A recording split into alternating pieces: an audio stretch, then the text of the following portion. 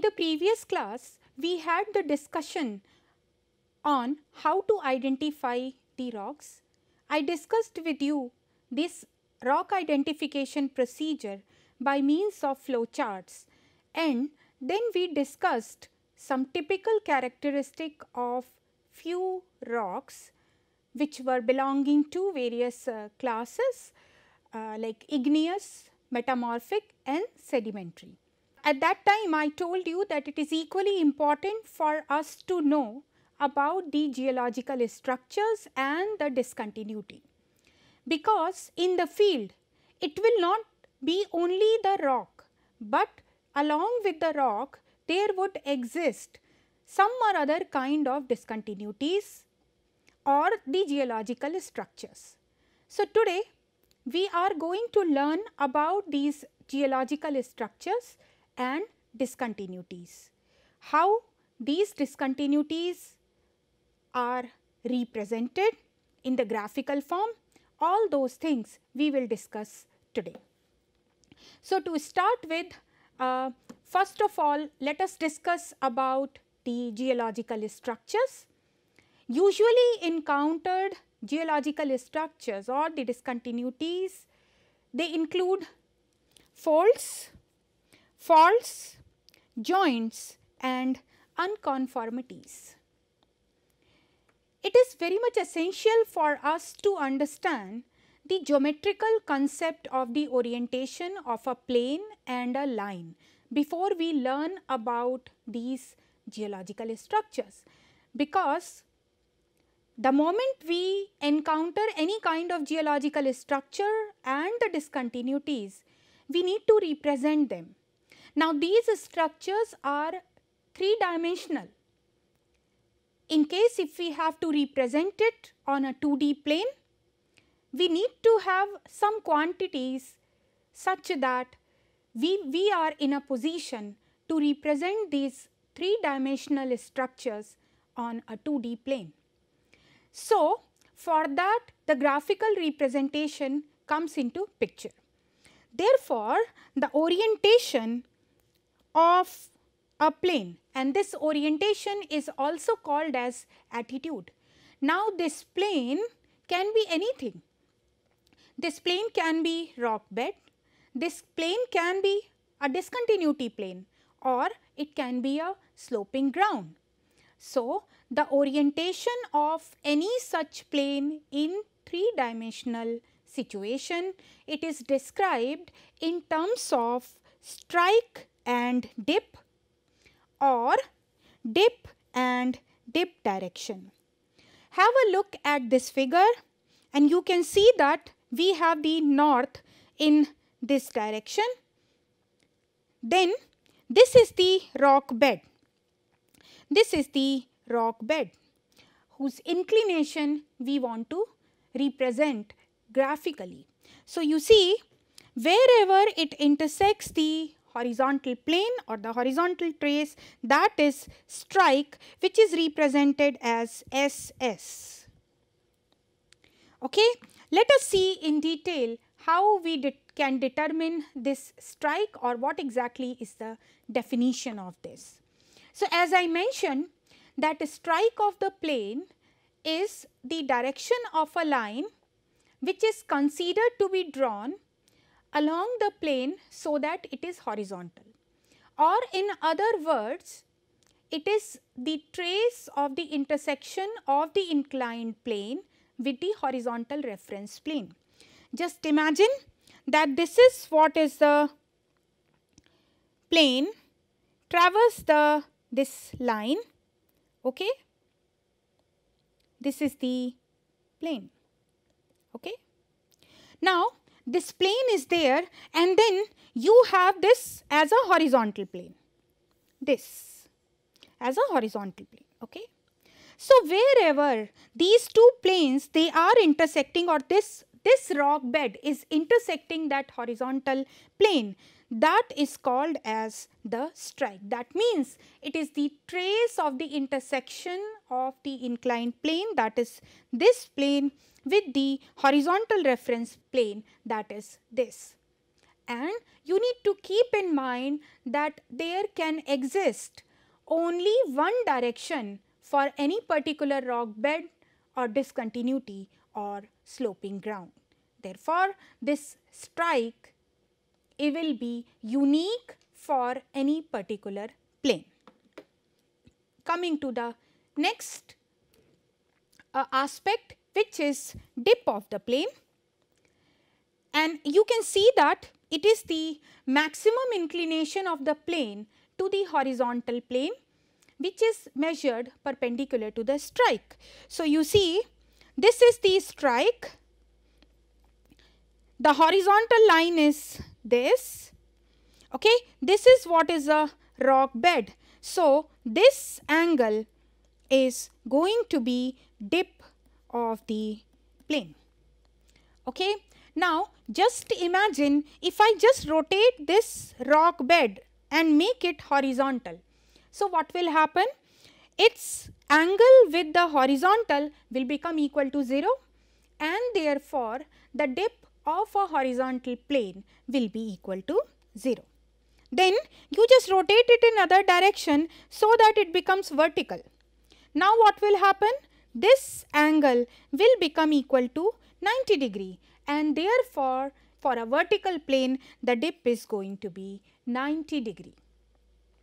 Keep that in mind that when I say dip that means it is true dip that means the term dip refers to true dip.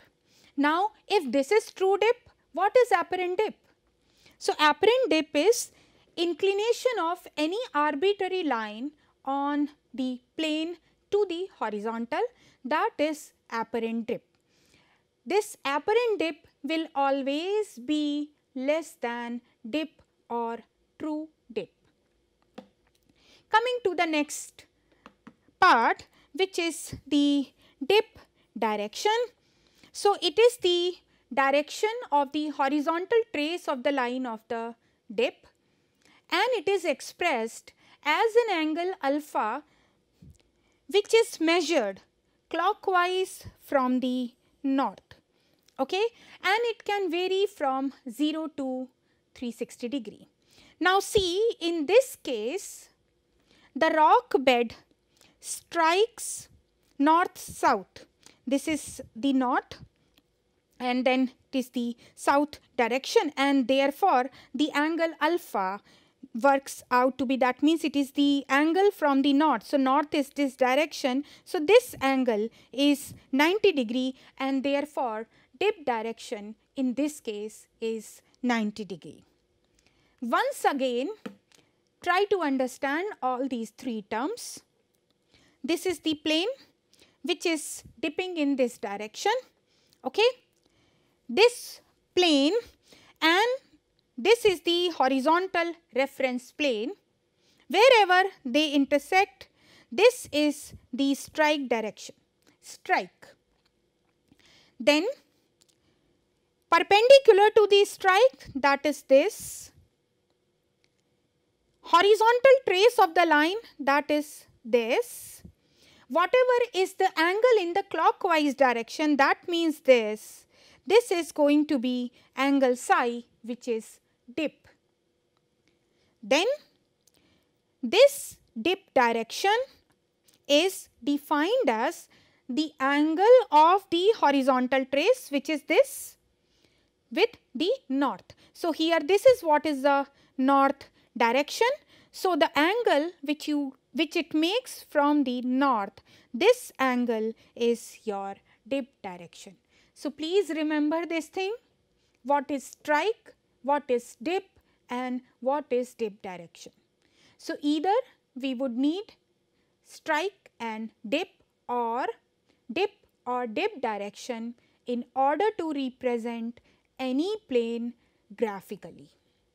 Coming to the uh, next uh, geological uh, structures that is fold.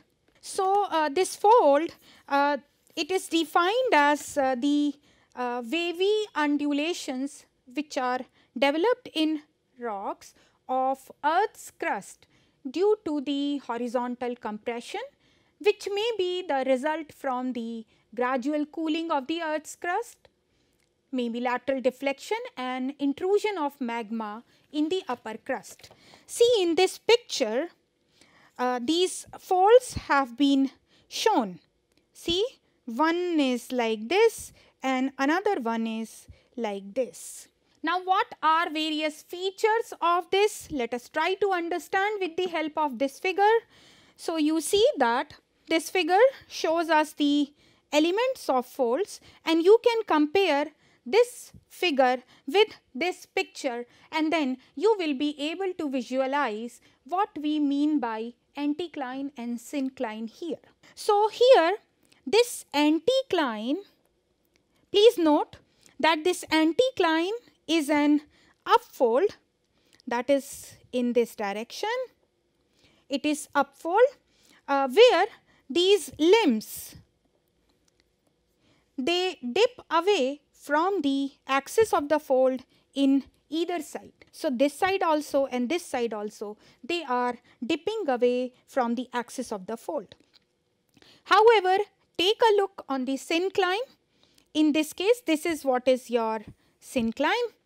In this case, they, the limb bo on both these sides, they dip towards the axis of the fold.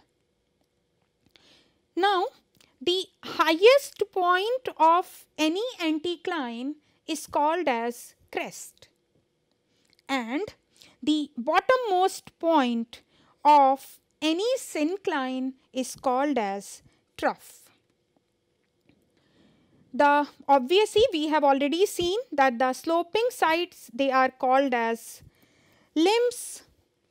Now a reference plane that divides any anticline or syncline into two equal halves is called as axial plane. So, in this figure there are two axial planes one is this one another one is this one. So, these are two axial planes. Now, the line of intersection of the axial plane and the surface of any constituent rock bed is called as the axis of fold the inclination of which with the horizontal is called as the plunge of the fold. Now you see in case of the anticlines, older rock beds generally occupy a position in the interior that is on this side that is core. Okay. Whereas in syncline the rock beds in the interior, they are generally young. So here it is the uh, oldest rock and here it is the youngest rock which will be formed. So these are the various elements of the faults and then in this picture you can appreciate very nicely an anticline as well as syncline. Coming to the next geological structure which is the fault. So, basically these faults are uh, the fractures in crustal strata along which appreciable shear displacement of the adjacent rock blocks have occurred which are relative to each other and this may be probably due to the tectonic activities here is a picture which shows very clearly the fault. Can you see that? This is the fault plane. And you can see that along this the shear displacement of the adjacent rock blocks that is this block and this block has taken place. Like you see from it was this location and this has come to this. So, this much has been the displacement. Now, coming to the next aspect that is uh, the uh, fracture along which the shear displacement has taken place that we call as uh, the fault plane. So, in this figure uh, this is what is the fault plane. So, when we say in general the term fault it includes both fault plane as well as the displacement which has occurred along it. Okay. Now, there can be different types of faults which have been uh, shown in this particular figure where this inclined faults have been shown two types normal fault and reverse fault. So, this figure deals with the normal fault and this figure deals with the reverse fault. You can see that the total displacement which has taken place along the fault plane that means see this band location was here and now after displacement its location is here. So, this distance AC this is what is called as net slip. So, the total displacement AC along the fault plane is called as net slip. Similarly, in the reverse fault also this is what is your net slip. Now, the amount of this net slip may vary from tens of millimeter to several hundred kilometers depending upon uh, what all are the uh, activities that the rocks have been subjected to. Now, you see there are the vertical component of this slip that is uh, the vertical component of this AC is AB which is called as throw or vertical slip and the horizontal component which is this component BC which is called as heave or the horizontal slip. Please remember vertical component is throw, horizontal component is heave. Then the angle which is subtended between the fault plane and any vertical plane which is striking in the same direction is called as hade of the fault, hade. Now you have a look at this figure, this angle BAC. So you see this angle is hade in this case. That means it is the fault and a vertical plane which is striking in the same direction then that is the angle between these is called as hade. Similarly, in this case angle BAC. So, angle BAC in this figure that is hade. It is observed that uh, the two blocks which are lying on either side of the in inclined fault planes, they are dissimilar in their configuration and orientation in space. Of these two blocks, one appears to rest on the other. So, the former one is known as the hanging wall that is HW and the later one which supports the former one or the hanging wall is called as foot wall. So, first focus on the normal fault. Uh, in this case, the HW that is hanging wall appears to have moved downwards, relatively downwards as compared to footwall. Whereas in the reverse fault, it is other way round.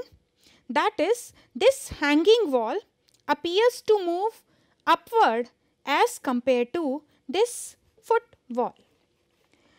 From the mechanics point of view, the presence of tensile stresses causes the development of normal faults while compressive stresses they lead to a formation of reverse faults.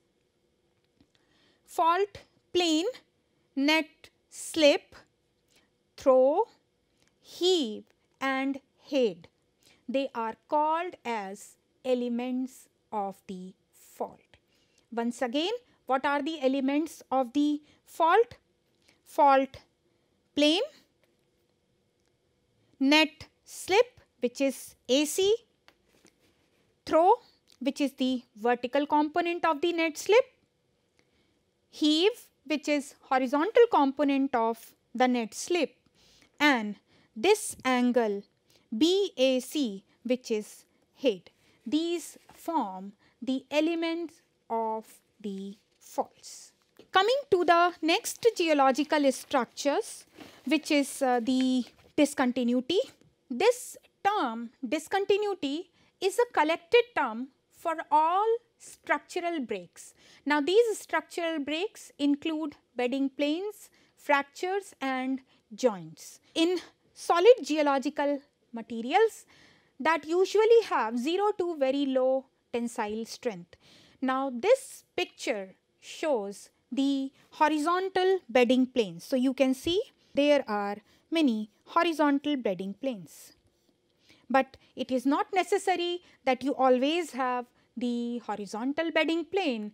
The next picture shows very clearly that how the planes can be inclined. So, in this case you can see that these are the inclined planes. So, these bedding planes depending upon what is the geological activities that the rock has undergone, these planes can be horizontal or these can be inclined bedding planes. Now, look at the next one that is the fracture. Uh, fracture is defined wherever there is the break in the continuity of the rock mass. Joints they are the fractures where little or no movement has taken place. So, you can see here that these are the joint planes in this case. So, the most common type of the discontinuity is the joint and this can occur in several sets and are approximately parallel within a specific set. Now, the discontinuity set, when we say discontinuity set, they represent the series of discontinuities that have the same geological origin, same orientation, spacing and same material characteristic. And these joints they introduce anisotropy and we will discuss all these issues later towards this course when we discuss about the concepts related to rock mass. Coming to the next type of discontinuity which is called as unconformity. See this is very interesting and bit different than what we discussed till now. So you see here this picture take a look at it. You see here you have one set of rock, one set of rock surface that is dipping like this. Now you see that you have another set which has this kind of orientation. So basically unconformity is defined as surface or plane of separation between two series of rock beds or geological formation which belong to different geological ages and they are different in their geological structures most of the time. So, in this case if you just take a look this is what is the unconformity. Below that you have another uh, rock type and then above that you have another rock type and this is the plane which is separating these two different types of uh, rock uh, which have different geological structure. So, this kind of discontinuity is called as unconformity. There are different types of unconformity uh, which can be looked from any uh, textbook that I have already given you the references. Now, the question is why are we uh, doing all this, why it is important for us to know the uh, geological structure. So, by the by this time it must have been clear to you that until and unless we know about these geological structures and their orientation in rock beds, we really cannot select the most suitable site for civil engineering structures. Further, a proper knowledge of these are extremely helpful in planning the safe excavation of open pits, shafts, slopes and tunnels in civil and uh, mining related projects. For example, let us say at a site you have horizontal beds. That site may be suitable for foundation of buildings, but not for dams. What happens if you have a dam foundation on horizontal beds? What will happen is that water which is there in the reservoir, it will apply a horizontal force on the dam embankment and therefore, the sufficient seepage of water is expected and once that sufficient seepage takes place, there is going to be immense loss of reservoir water which is not desirable as far as functioning of the dam is concerned. So, what happens? We say that as far as horizontal bedding planes are concerned at a particular site, it is not suitable for foundation of dams. See here, in case if you have the rock beds which are dipping in the upstream side, you can see this is what is the rock foundation which is dipping in the upstream side. This is the most competent for dams because this supports this combined load which is R and that is due to weight of the dam W which will be acting in the vertical direction and the thrust from this reservoir. Okay, that is the uh, from the water which is there in the reservoir which is T. So, the resultant of T and W is given by R. So, this rock bed has to support this combined load R. Now, such dipping rocks do not generally allow water in the reservoir to percolate below the dam. That means here this, this will not go like this, the water will not go like this. In fact, what will happen is uh, whatever is the water that is let us say in case if it is percolating, it will flow upstream and it will go back to the reservoir area. Thus, the reservoir will not lose much of the water due to seepage through the dam foundation. And at the same time, the foundation that is this part, it will remain watertight and the dam is not subjected to any appreciable amount of uplift pressure.